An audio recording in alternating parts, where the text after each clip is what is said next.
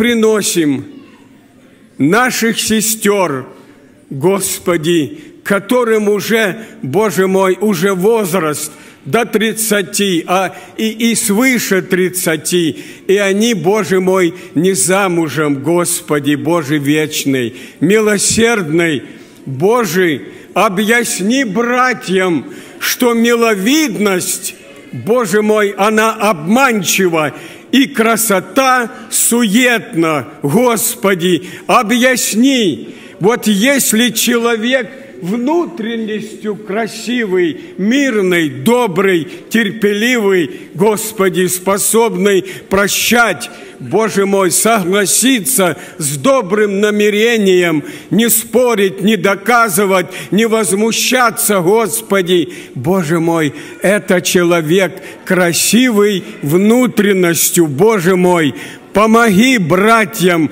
правильно понять. Мы это понимать начинаем уже в пожилом возрасте, в старости, как это важно, Боже мой, Боже праведный, но столько случаев, когда, Боже, в молодости была такой строптивой, Господи, от старости еще хуже стало, Боже мой, и как только тяжело, Господи, мужу нести эту, это бремя, Господи, праведный. Объясни братьям молодым, Господи, надо ценить внутреннее, а не внешнее. Можно разукраситься, можно одеться, Боже мой, пышно, но это не главное, Боже мой милосердный, а быть добрым человеком, вот, это, вот этого Бог Духом Святым достигает в человеке. И хотя бы уже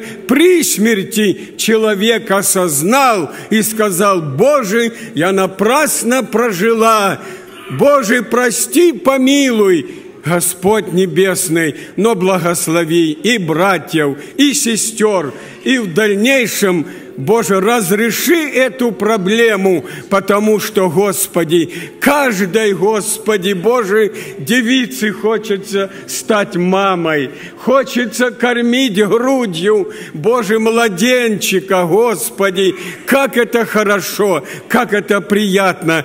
Помоги, Отец, разреши эту, Боже мой, Боже, это эта привычка уже не то, что многолетняя, многовековая, Господь Небесный, но объясни, что миловидность обманчива, а красота суетна. Господи, да будет имя Твое благословенно, прими, Господь мой, нужды наши, Боже, яви милость Твою и прославься на веки и веки, Отец, Сын, Дух Святой. Аминь.